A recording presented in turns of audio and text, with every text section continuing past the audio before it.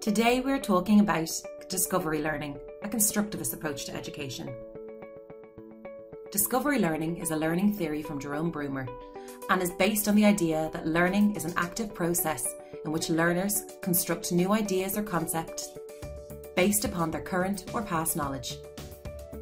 Students interact with the world by exploring and manipulating objects, wrestling with questions and controversies, or performing experiments. This is a constructivist learning theory. Constructivist posits that learning is an active constructive process.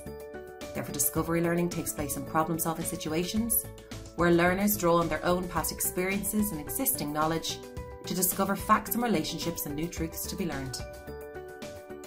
Bruner believed that students are more likely to remember concepts and knowledge that they have discovered on their own.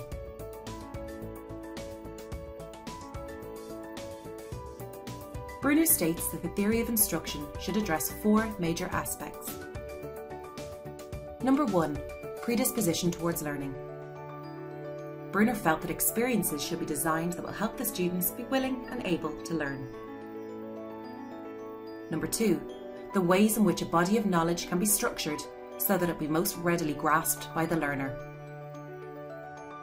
For example, the spiral curriculum. This can be defined as a course of study in which students will see the same topic throughout their school career, with each encounter increasing in complexity and reinforcing previous learning. Number three, the most effective sequence in which to present material. In general, the sequences of learning should move from enactive, which is hands-on or concrete, to iconic, which is visual, to symbolic, which is the description in words or mathematical symbols. Number four, the nature and pacing of rewards and punishment. Bruner suggests that movements from extrinsic rewards, such as teacher praise, towards intrinsic rewards, inherent in problem solving or understanding the concepts, is desirable. Bruner's work is closely related to Piaget, Papert, and Vygotsky.